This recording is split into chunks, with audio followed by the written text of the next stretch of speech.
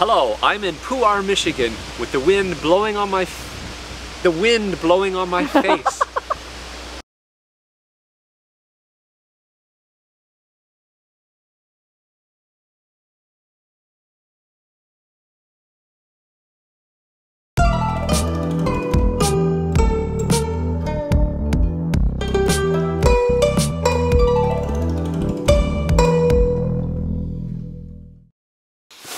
Guys, welcome back to our channel. oh yeah, welcome back.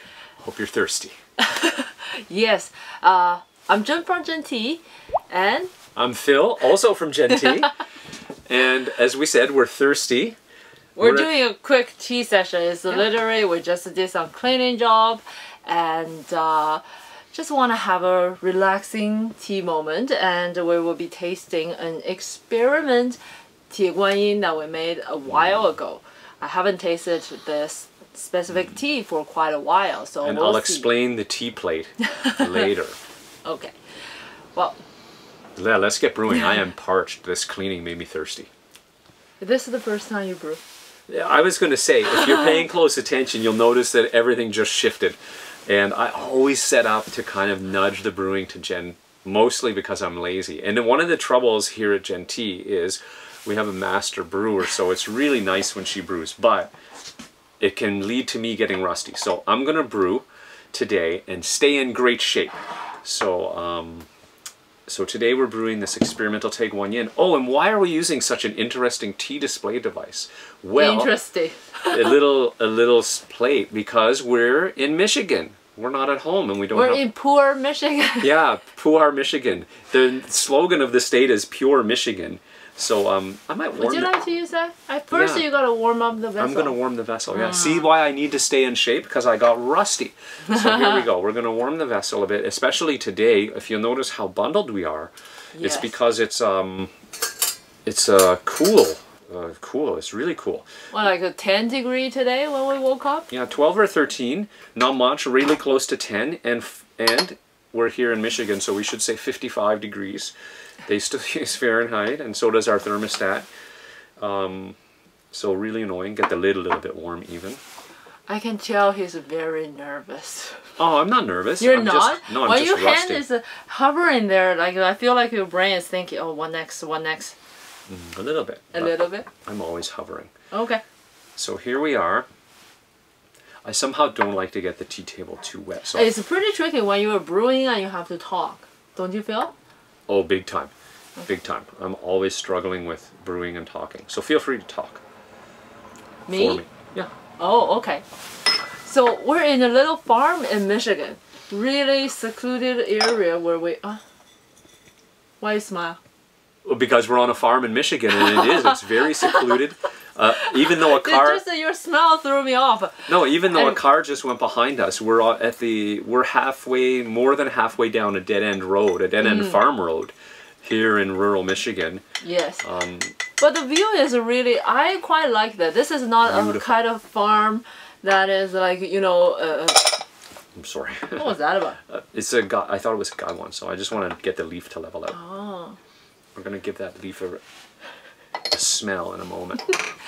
Anyway, it's not a, like a, a farm like you would imagine with, uh, uh, you know, chickens, ducks, and all kinds of veggies. It's a more uh, industrial style. Industrial style. Crop farm, crop called it. farm. Yeah, crop so farm. sorry. soybean, uh, wheat, corn, Yeah, yeah, those but it's still, and they have little woods, uh, small patches of woods around, so uh, it's very new and uh, exciting for me. And me. here. You, even you? Yeah. Okay. Oh yeah. Yeah, it's, It's- um. It's a, not a traditional spot to, to you know, to be camping or having a trailer. Sorry, I'll let you grab that and have a smell. It's You will see huh? how awkward we are.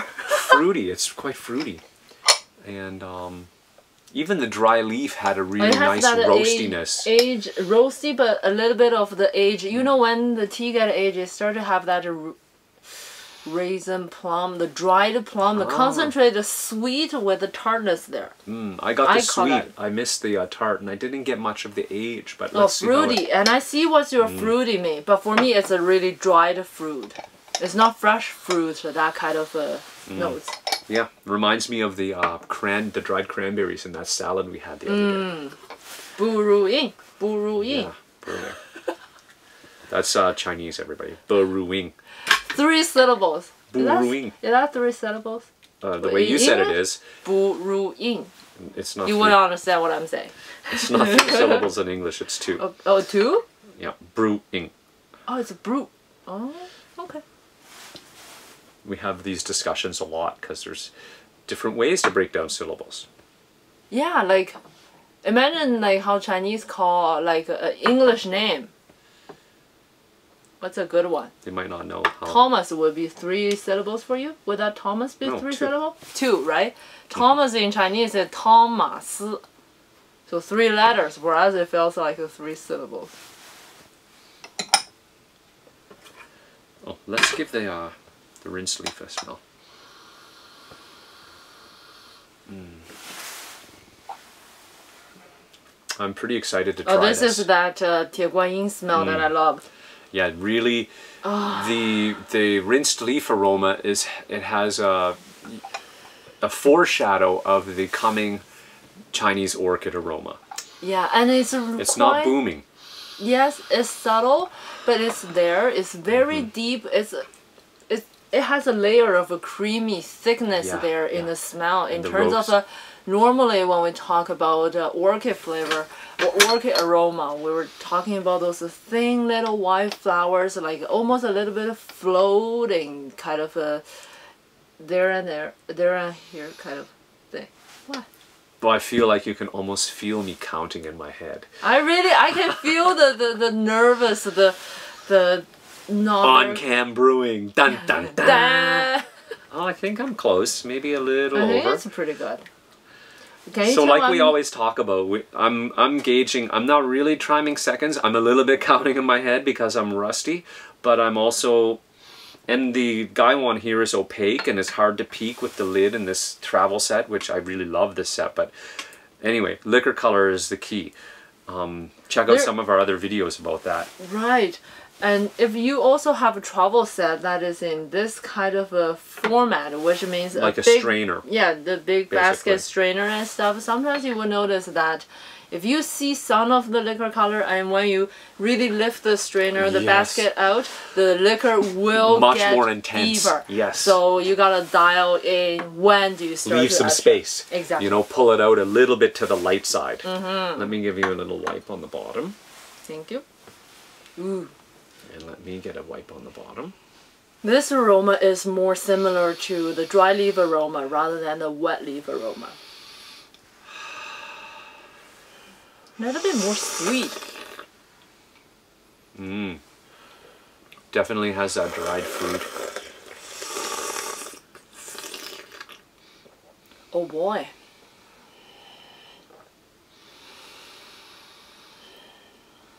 When we talk about age, how, what, what year is this tea? Do you recall precisely? 2016. 2016. I was partially participated in the make.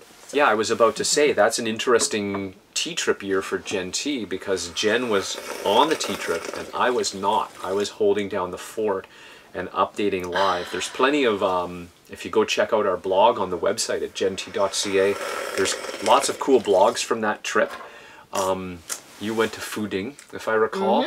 That was while Shitai and Shifu were still in the cave like they live it sounds really like they're not cave people but they actually like when i visited in 2019 i went to Fuding they had really expanded their operations. So i mean actually both of those pieces both of those visits are available. Check them out on our website. It's really neat to see the progression of uh, and the success of our tea friends. Uh, makes me really happy. And um, it's interesting that you made Tie Guan Yin. I'm going to guess you were also uh, visiting. Um,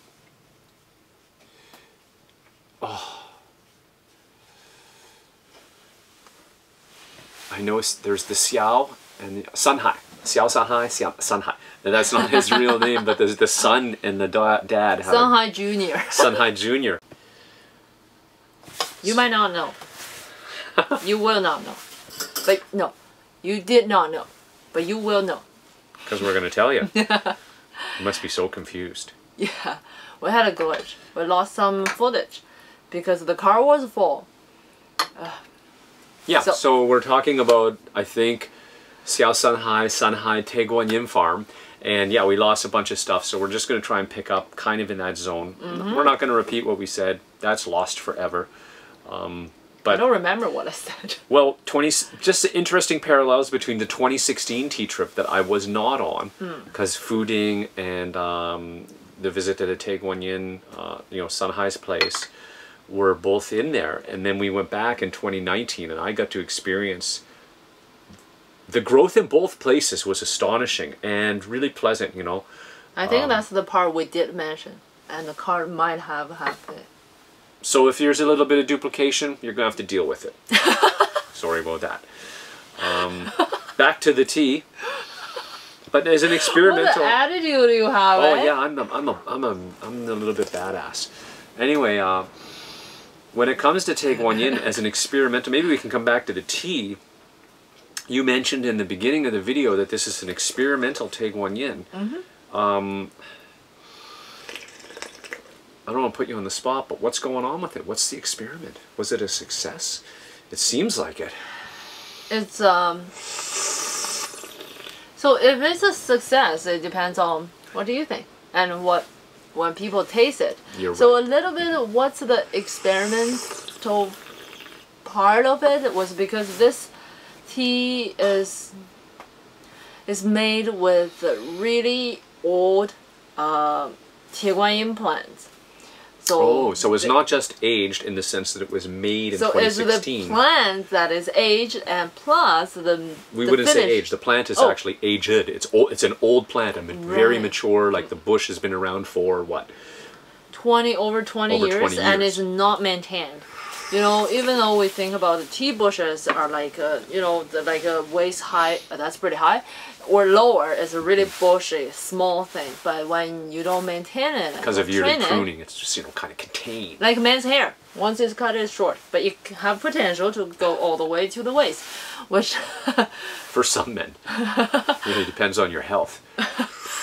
So for the tea plant, when it's not maintained to grow there, uh, it's become bushy and tall, and I had to really reach over it to bend a little branch because it's a, still a bush type of a plant. 铁观音. It's not a tree. It doesn't have a that kind of main trunk.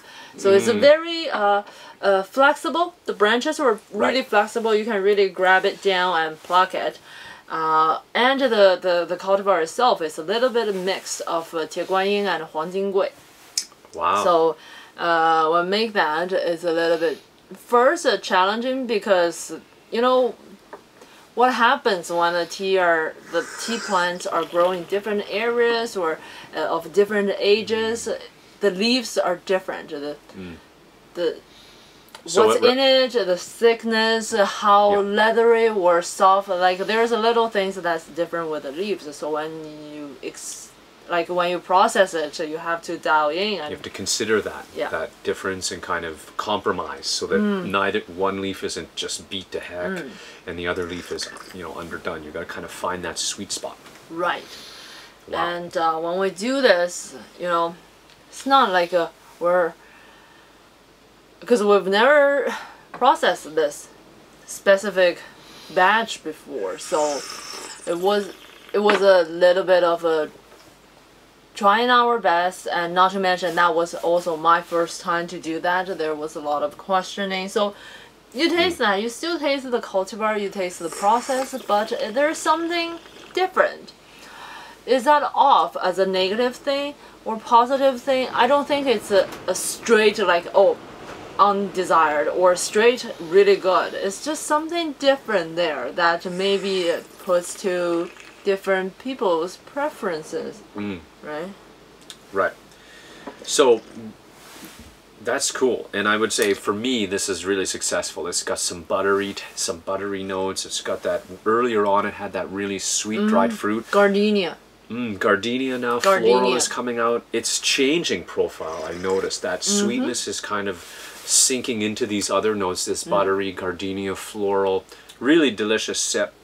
Um, This is a later infusion because we missed the middle part of the Yeah. tea, but Yeah. it's quite different.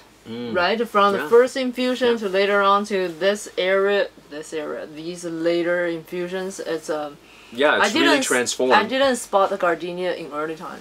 That's right. Yeah, it was a subtle. There was some subtle sweet floral. I mentioned the um, Chinese orchid, in fact, on the dry leaf even. Mm-hmm. Now it's a bit more of that thick, creamy gardenia, Creamy, really. Yeah, has really that creamy. Yeah. and I'm getting a little uh, chatsi burping on the go here. Uh, I'm keeping it quiet though, keeping it PG for the kids. We didn't do that. Uh, Barb? No. What's his name? The guy who burped super loud in Oh. Simpsons. Barney. Barney. Barney was the alcoholic. I love that. Who doesn't love Barney? Ripley tongue.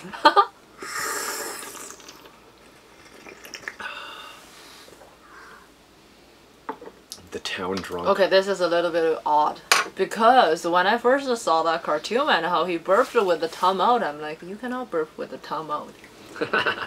Oh, And I tried it. good eye for think- detail. It's just odd.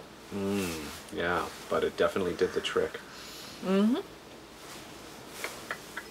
So one of my earlier infusions was a little bit, uh, I wouldn't say I, I massacred it. I didn't go too far, but it was a little bit punchy. So I'm a little bit more in out. My leaf amount is really, um, I would say pretty Bang much, on? yeah, pretty much bang on for this vessel.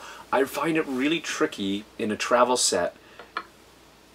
Okay, maybe it's the travel set or maybe it's because I'm dialed into kind of the tea where I'm used to.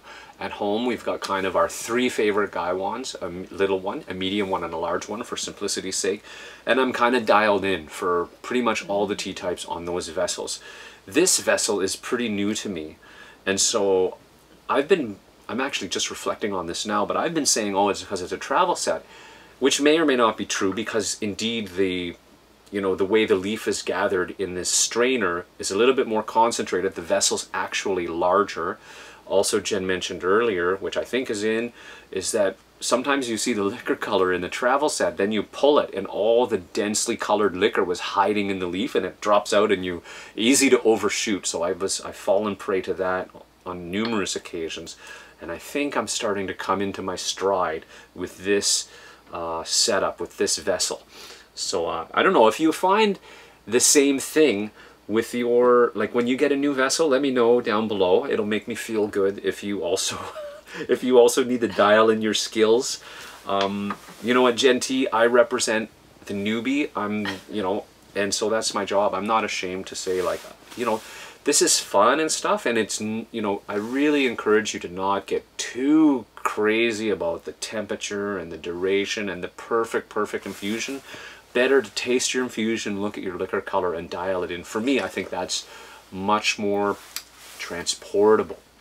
When you do go to a new vessel, you will be more like a kung fu master. You'll be able to just dial that in quickly. You won't be relying on these strict metrics to get the perfect brew. You'll be able to smell, look, eventually listen. I'm not there yet. She can listen to the water and the leaf. Uh, sounds crazy, but you know, like anything, with with hours and hours of experience, who knows?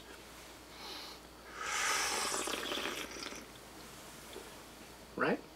Dialing it in. Yes. Yeah. I was just gonna add it in terms of uh, that. I don't think it's. Um, I don't think it's a simply. It's just you're used to the Gaiwan shape. Mm-hmm. Different shapes have different implications and the volumes. You're just not used Mm-hmm. Yeah. to it. Yeah. Or sometimes, I guess for me, whenever I'm about to brew, I think a lot, which That's I- my biggest challenge, I for sure. How should I say? Now because it's uh, intuitive already, I don't really think like, oh, I gotta think this. No, it just happens. So I just uh, somehow put this amount with reason, with no, not reasoning to myself. So I started to do videos to help explaining my uh, thought process, like how to brew. I, it's almost like yeah, dissecting like, like you're myself. really backing up and dissecting your own unconscious process that's developed over time and sharing Yes. it with people. Yes. Yeah, that's an awesome series. Definitely check that out. Yeah, so I think it's just a, a moment, a second of a think would really help you Yes. solve this kind of issue. Yeah, that's my challenge is remembering to think. Sometimes because often I'm well, I am not often. I'm the vast majority of the time the morning tea maker, which is again a thoughtless. I'm I've gotten to the point where I know that vessel inside out, and I just throw that together. Mm-hmm. But when I'm approaching a new situation, I got to have that little stop and actually consciously think. I'm not quite there to unconsciously adapt. But that's the kung fu kind of stuff I'm talking about. If you keep intuitive brewing and apply that thought, you will get to that. Maybe I think I'll get to that level. Well, um, this video is coming to an end, but this tea is not. So we're going to keep brewing it, and um, because it's delicious and it's still got some good legs. Um, so, if you enjoyed the video, please give us a thumbs up, click the notify bell so that you'll know whenever we create a new video. And of course, uh, if you love what we're doing here, or even just pretty much like it, go ahead and subscribe to the channel. It would help us out a lot, and we'd appreciate having you, you know, in the club, on the scene, hanging with us, and all that jazz. Until next time. Until next time, keep, Keep steeping. steeping. Bye bye.